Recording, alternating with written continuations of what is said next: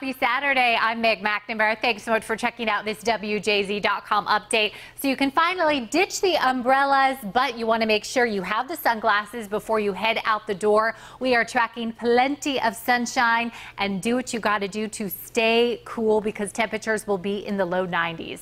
The radar, well, it is empty right now, and for the most part, we are going to stay that way. Temperatures BWI 75. It's already 80 in Annapolis, 69 there in Hagerstown.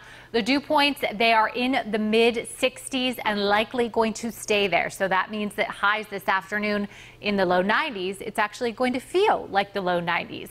The futurecast, well, it stays pretty empty here. So beautiful blue skies for our Saturday. Sunday, a few more clouds moving in, but that rain should stay south of Maryland. And we actually don't see storms in the forecast until Tuesday.